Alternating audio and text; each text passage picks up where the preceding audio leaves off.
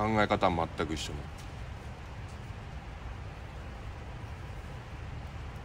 チェンジ際を狙うこととポストとのチェンジ際を狙うこととまあプラスワンで2人抑えてるんだったらもう上から打っていく。もうそこの組み合わせでしっかり攻めれる。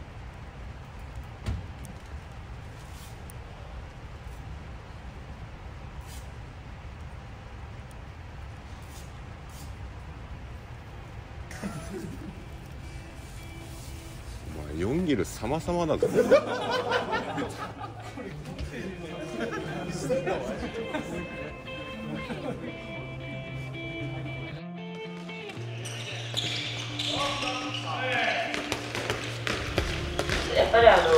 まあ、山本さんとかあの佐藤さんが来てねお酒から2人こういうまあ新しいスタッフになってテンションも上がったり雰囲気いいと思います。まあキャプテンの荒川両サイド梅本と2人はまあもともとそういう力は持ってたし。まあ清潔とか見えなんかもあのもがきながらでもこうやろうとしてるのは見えてる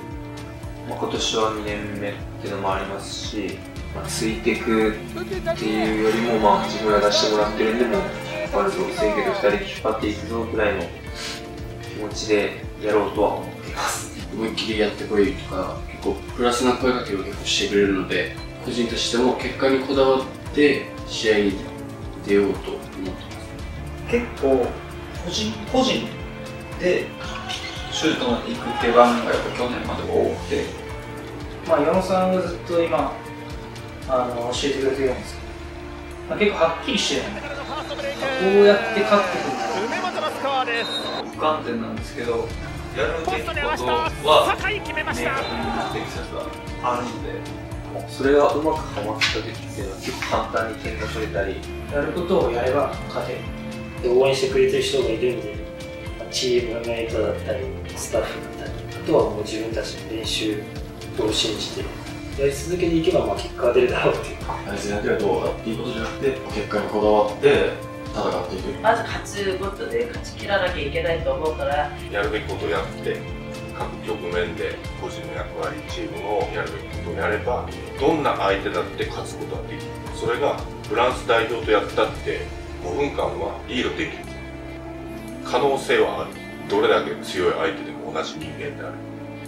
勝つためにやってる試合のためにやってるっていうトレーニングをしっかり理解してこの場面では何をしなきゃいけないかっていうのが自然と選手からこう発言して出てくるようになると、まあ、チームが変わってきたんだなっていうことは感じられるんじゃないか。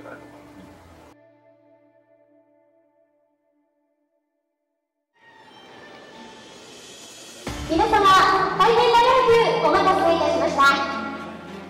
今できること自分たちの強みも含めて今できることを60分間に出すってこと。あれもやっときゃよかったっていうことがない。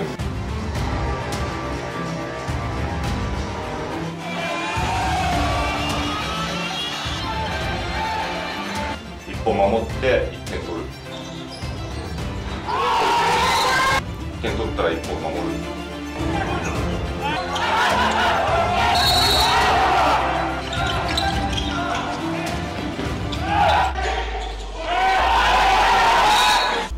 勝つチャンスは十分ある。やっぱ俺はチャレンジャーっていうことがあって。